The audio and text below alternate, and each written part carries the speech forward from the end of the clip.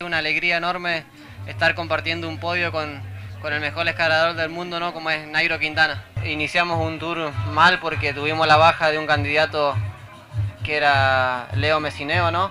Y tuvimos que iniciar el tour nuevamente a partir de la segunda etapa, donde también tuvimos una mala suerte porque yo pinché dos veces, donde perdí un minuto muy valioso. No sé si hoy estaría festejando, pero creo que sí en el segundo lugar de, del podio. Y bueno, el equipo fue muy unido y, nos centramos en lo que queríamos, que era triunfar. Y bueno, por suerte se nos dio el triunfo en la de por equipo y un tercer lugar en la general. ¿Qué significa para vos Ramón Sánchez? La verdad que él me ha creado deportivamente, me enseñó todos los secretos del ciclismo y estoy muy agradecido a él porque gracias a él crecí como ciclista y obtuve varios resultados como campeonatos argentinos y campeonatos panamericanos ¿no? en categoría junior. El mejor podio de mi carrera deportiva. Superó el campeonato eh, panamericano, superó el podio en una vuelta de Chile que es muy importante, superó todo el Tour de San Luis.